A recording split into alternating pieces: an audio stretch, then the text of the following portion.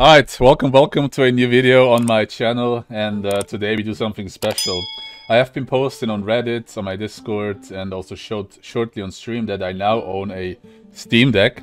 And uh, yeah, I uh, basically what I do, or what I did, is to uh, yeah play my most favorite game on the Steam Deck. What you currently see is me remote streaming with the Steam Deck inputs the game on my PC. Of course, I see it also here on the screen. So, today I will show you how I play Lotro with my keybinds, etc. Like from start to finish, how I play Lotro on, uh, on this device. Before we go into the technical details, let me first give a short like review and so far my experience with the Steam Deck. So I got this Steam Deck for uh, Christmas, like this Christmas for my girlfriend. And yeah, um, I've been using it uh, ever since when I was like not on my PC setup, when I was on vacation last week, when I was in Los Angeles on vacation, I was setting this thing up and uh, I would say so far it has been a very, very nice experience for me. Of course, a lot of work goes into figuring out how to keybind uh, all these buttons and commands, you know, so that it's playable without having to use a mouse or something. The Steam Deck for me so far is, well, has become like a substitution for taking my laptop, my gaming laptop, with me on vacation in order to play games, because this here is for, you know, if you're not at home, this is for me perfect. But obviously, uh, if you just want to play on this solely, this is also possible. You don't uh, need to, you know, like go on vacation for that or be outside from, from your ordinary uh, computer setup. Like it works perfectly for someone that just enjoys playing games as well. And uh, the Steam Deck does a lot of things better than just playing it on a sole controller, which I also did already in Lotro. So in order to uh, show you a bit more of the gameplay, I started here that skirmish um, Thievery and Mischief. I also rearranged some of my uh, skills, as you can see, because the only issue I right now have that doesn't allow me to just grab that thing and keep playing it even after I just played on the computer is the fact that my keybinds on you know the keyboard versus the keybinds I have to do on the Steam Deck are slightly different and they don't allow to put the skills on the same position on the skill bar so I have to kind of switch them up a bit to make the gameplay a bit more... You can play pretty fast, you know, I'm someone that plays very fast and dynamic on the keyboard. You can do it almost uh, same as it on the as on the keyboard, you know. Obviously, I'm I'm way out of practice right now, so you will not uh, see my best gameplay. I'm also not planning on becoming a pro in uh, you know playing on the Steam Deck, but this is how I play. You know, on uh, on my uh, my on vacation. You know, on uh, instead of a gaming laptop, I sit with this on my uh, hotel room bed and uh, you know basically just play my favorite game instead of having a computer. Also to add, what you see now on my projector screen doesn't look as nice as on the Steam Deck. Okay, so while cutting this video, I basically just discovered this blue flickering in the image. This is a problem with the Steam remote capture, and this is not how it looks like on the Steam Deck. This is really just an issue of like projecting the Steam Deck gameplay on the PC monitor. Like the Steam Deck resolution uh, looks much nicer than what I see right now on my Ultra HD monitor, right? So it's kind of like blurry on, on the monitor, but on the Steam Deck itself, on the screen, it's it's very sharp, the image as well. So you have seen now some gameplay. We're gonna switch now the camera setup, that um, camera right on how I hold the Steam Deck, how I play it, and then we go through how to play the game. So this is how it looks now from my point of view, basically. Me playing it. You also have the projection on the screen so before we start the game, let me first show you quickly what buttons the Steam Deck comes with. First a little background, I already at some point tried to play Lotro on a regular PlayStation 4 or 5 controller. And that worked out very well to the point where I had a bunch of limitations that made the entire experience less enjoyable. And with a Steam Deck, a lot of these issues are basically gone, and I show you why. So the Steam Deck comes with your regular controllers. You have two analog sticks, you have the D-pad here, you have this button, this button, and then of course the four like regular uh, standard button. You have here a button, you have here the Steam button, And what makes it extremely nice are these two trackpads left and right. These trackpads basically are the replacement for a mouse, you know, as if you are on a laptop, you know, with the trackpad. This is something that a controller doesn't have and this always has been an issue, like focusing quest items or, you know, like something in the inventory would have to do this with the analog sticks. With the Steam Deck, you can just, you know, swipe around here and use this as a basically a mouse pad. Then we have also the, uh, the R1, R2, like those here, the thumb uh, buttons. And here the back, four additional buttons. You have two here and two here. Those are all independable programmable buttons. So um, basically this is a controller plus two trackpads and four buttons on the back. So then let's start the game, I would say, and uh, you will also see like another nice feature that the Steam Deck has and the regular controller does not. You know, you just log in and then you can uh, click the Steam button X and will open you a keyboard that you can use to type. You can chat with this, you can log in. So I've now logged in and as you can see now already, the way how I bound the right D-pad is that it's basically a mouse. You can see the mouse when I swipe around, that's how I can target. Alright, so in order to show you the rest, we're gonna do it like this now because I cannot really get a nice uh, clear, you know, image with the camera. So we're gonna, I'm gonna show you now how to keybind something in Steam in. Steam system is actually a 10 out of 10 how you can uh, bind your controls. And the way how you do it is you go on the Steam button and this will open uh, the game and you go to controller setting. What you will get here is a small like overview on how like you have bound your uh, key button. You go to edit layout and here is now a different, you know, like group of what buttons exist. We have the A buttons, those are like those here. We have the D-pad, which is those here. We have the triggers, which are here on the back. We have the joysticks, we have the trackpads, and there's even gyro. I did not really set it up. I don't think it's needed for uh, Lotro. But what you can do here is now basically you can assign every button to a specific key on the on the keyboard. You can assign multiple buttons, like multiple, not, not buttons, functions to the same button. For example, the A button for me is, if I only press it once, if I tap it, it's like the space key basically jumping in the game. And if I hold it longer, it's the 9 button. So if you want to copy my keybinds, then I will gonna show this now without the face cam for now. So basically now I will go through all of my buttons, how they are at the moment. There might be an update in the future, but this will be uh, a starting point for you to play Lotro. So for the buttons, choose here the ABXY behavior as button pads, of course, so just regular buttons. We put the A to space key. This will be then in the end, you know, jumping in game. And we put a long press. You can do this by going to the gear wheel and you can basically add extra command and then you will see that another command appears or like another uh, function for this button. You make a long press and this will then be the 9. For B, a tap, like tapping B is 3 and long press is 7. X um, is then a 1 and the long press is 5. And Y is 2 and long press is 6. Let me go to the bumpers and the bumpers are uh, basically here on the on the back, you know, where, where you can click with the index finger. You have the left one, the top one. This will be the control key, like the CTRL or the STRG on the German uh, keyboard, I think. You will see why it's the keybinds are kind of similar to how you would do it on a PC, on a keyboard setup on the PC. Then the R1, this is the H key. This will be the key for uh, targeting something, like talking to someone or opening someone, something, or you know, attacking something. And then the, the, the double press for J, like you press it twice, this will be the J button. This will be then uh, be uh, targeting an NPC, for example.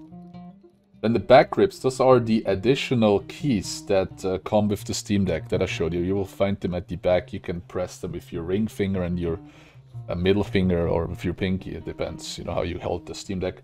Here we have the L4, which is the shift key. We have the I key, which is the R4, the O, which is the L5, and the P, which is the R5 button. And the menu buttons, uh, those are also quite important. Uh, you have the one on the left, the share button. If you, this bracket, I think, yes. And if you long press it, it's a U. And if you, uh, this is the escape button, the top right uh, button, basically. It's just the escape button if you want to close your inventory or a map or whatever, you know.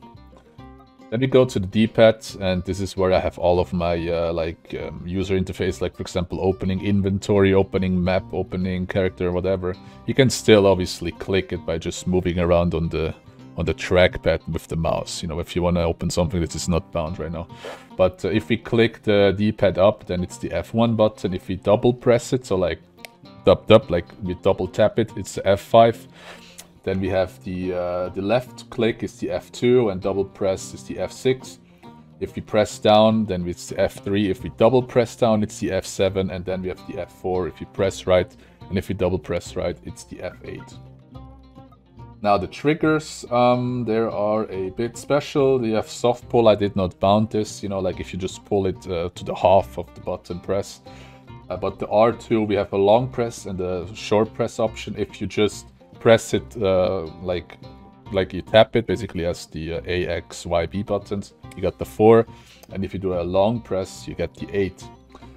Then we have the left, sorry, the left trigger uh, button is the Alt key, the R2 and you will see why later on.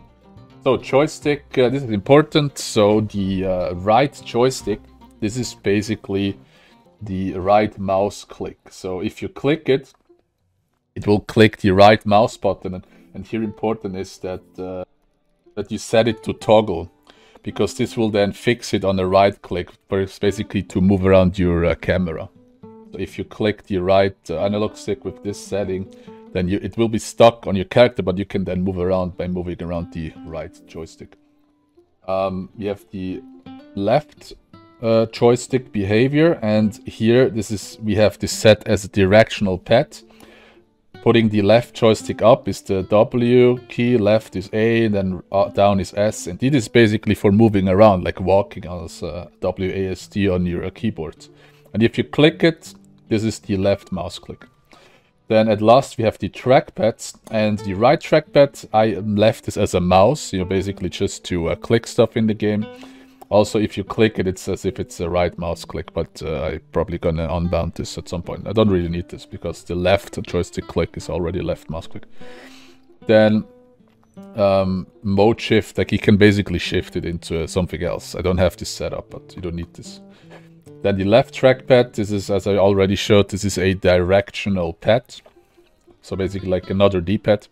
Um, if you go up, then it's like scroll wheel up. If you go down, it's scroll wheel down. This is basically to zoom in and zoom out on your character. And if you go left, it's the F9. If you go right, it's the F10.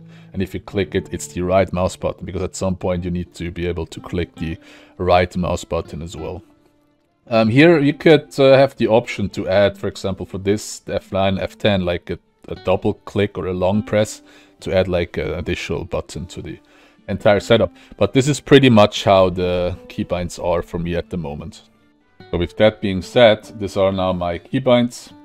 And uh, now, you know, if you bind it like this, then you have this right trackpad. You can basically move around. And then if you press the left joystick, it's like a left mouse click, so I just did that to log into my character. So of course we have now bound stuff to the Steam Deck, but obviously you will need to still bind it to, uh, you know, to your actual settings. And for that, you know, you can just open as usual the option. I will now quickly go through the most important things and you can just screenshot it and set it up for yourself by pausing the video. Basically important is here the movement, you know, the space bar, this is on the uh, A button. If you press it once, you space bar and then you jump. You don't have no walk mode though, but you can of course always adjust it to your own uh, uh, ideals. Quick slots one, this is important now. Those are basically mapped to 1, 2, 3, 4, 5, all the way up to 9 and 0. And then the last one are these uh, P and uh, F10. You will see why. It's just, uh, yeah. Then important, you know, just like on the control and the keyboard setup, you press Control, which we set to be the, um, uh, I think this one here, right? This. And you press, uh, for example, X, then you will do a Control 1. And then the same is done with the right, the left, sorry, the left trigger. This is set to be the, uh, I think the Alt, Alt button, yes. You can then basically map another uh, set of uh, buttons. And then at the back here, we have the shift button here. This is uh, for the upper row of the of the skill bar. So I will just uh, go through this now real quick, uh, where the important things are. We don't have a quick slot 4 and 5 mapped. We can always have combinations of Ctrl Alt and 1, for example, that's up to you. So selections look like this, Shift plus Tab. Then we have Assist Fellow, Shift F2, this is for healers. And remember the Shift button, the F F2 buttons are here on the D-pad.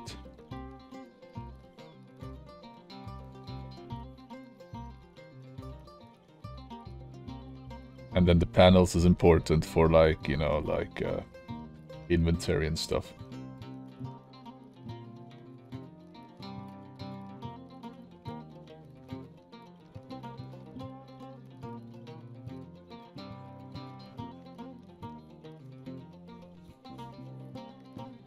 Basically, you're just gonna copy now everything that I show you here on my uh, keybinds. And then the way how I'm gonna demonstrate you, this is also how it's going to work for you then. But of course, you know, uh, feel free to uh, figure out uh, your own keybinds. I just try to give you some basics here. There will also be probably a second video about this. It's a bit more in-depth when I actually have like uh, finished keybinds. So now first of all, we start with movement. Again, you press the right joystick, it locks on your character and you can look around with the right joystick. The left joystick, you can walk around. If you tap A, you jump. That's how I set it up. If you don't want to jump with such a uh, universal button, it's up to you to rebind it. But this is basically the movement.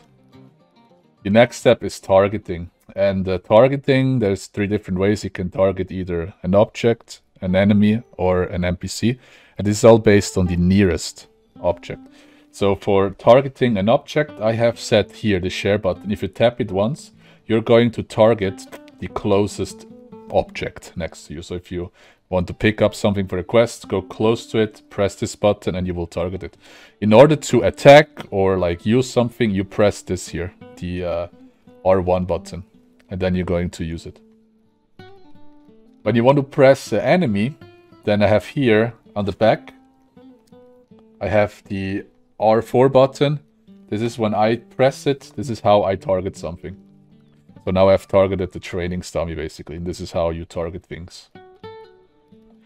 Then fighting. So the first bar, so the, the way how it works, how I set it up is that pressing X once is the one button.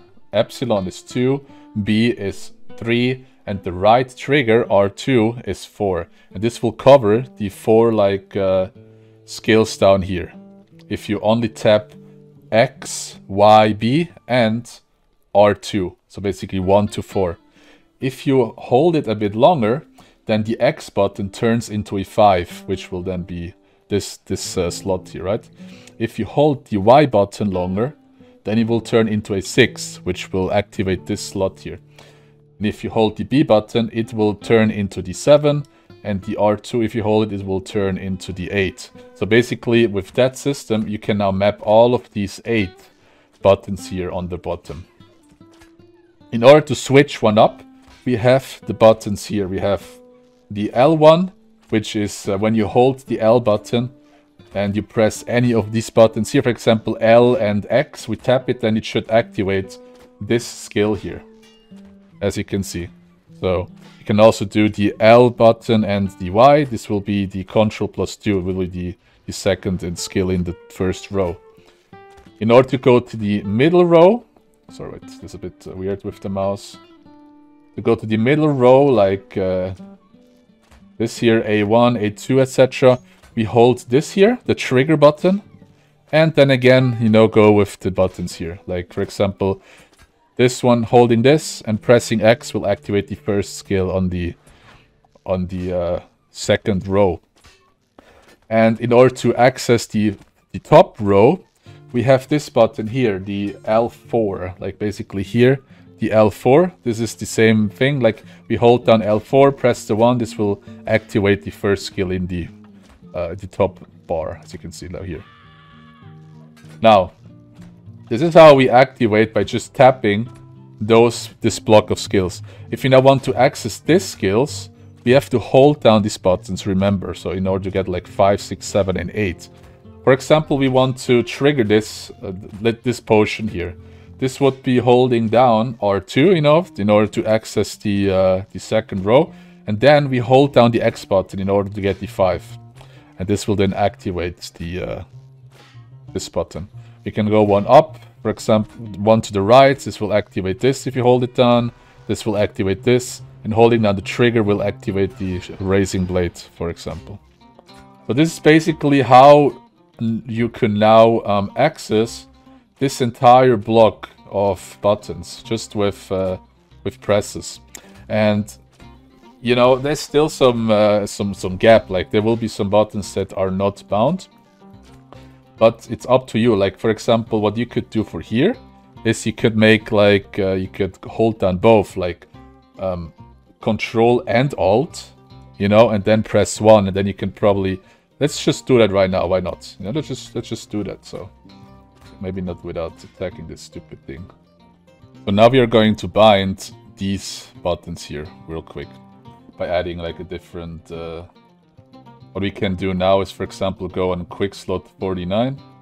And now we hold down L1 on R2 and press X1. This will be the Alt Control 1.